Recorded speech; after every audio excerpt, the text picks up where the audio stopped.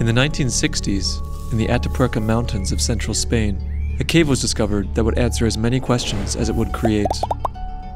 While workers were digging a railway line through the mountains, a sinkhole revealed an underground cave complex containing a wealth of archaeological artifacts. Over the ensuing decades, archaeologists dug deeper and deeper until, in 1983, they discovered a 45 foot vertical shaft that led to a mysterious pit of bones. At first, the remains were assumed to be human.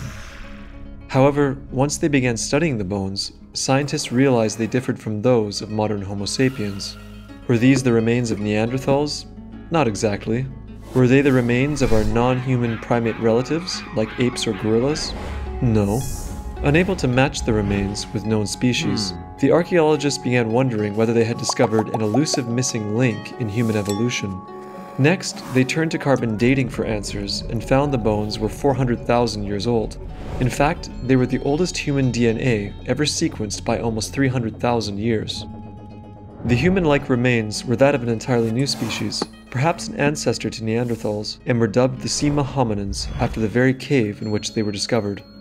While the scientific community rejoiced at the discovery, they also started asking how did these bones get to the bottom of a cave 100 feet underground? One theory is that they may have been swept away by floods when venturing into the caverns.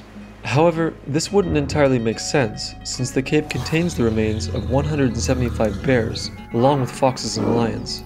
Another theory is that the hominins were brought there by the bears themselves, but that's unlikely, as humans don't make for easy prey. There is evidence to suggest that mass homicide might have played a role.